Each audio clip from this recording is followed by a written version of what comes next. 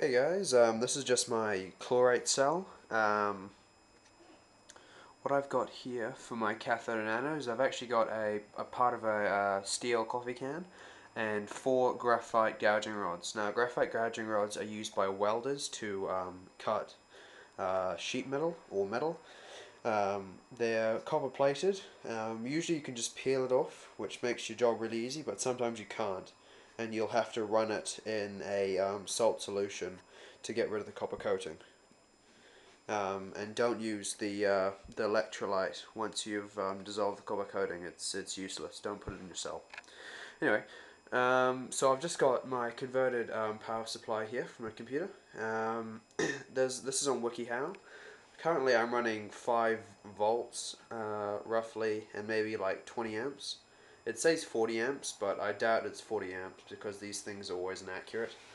Um, I've got a little LED there, you can sort of see it. Um, I, I need to rewire this whole thing. I need to put it into binding posts and stuff. Haven't gotten around to it yet. But here I've just got some croc clips. Um, there's the 5 volt wire and there's the earth. Um, and there we go. Um, I've actually used some copper sort of uh, coat the, the copper plating of the um, the welding rods to actually wrap around them so that they're all getting the same amount of current. Um, as you can see there, it's actually connected to the copper tapey sort of stuff. Um, and that distributes the um, the current throughout all of the uh, the anodes. Uh, more surface area works faster, etc. I don't have this heated. Um, as you can see, I can't heat it because it's a really chunky plastic container.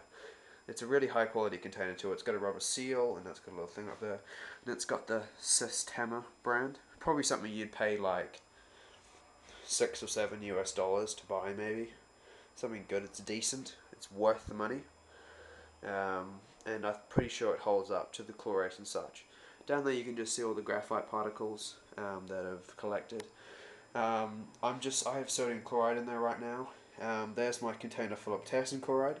I have to use fertilizer grade because here in New Zealand, we're not so scared of sodium. Um, yeah, nobody really likes potassium chloride here. Nobody really cares enough to use it. Too laid back. Um, I can't find it in water softeners or anything. I'm buying it at about a dollar a kilo. It's fertilizer grade, so it's got a whole lot of other bits of crap in it.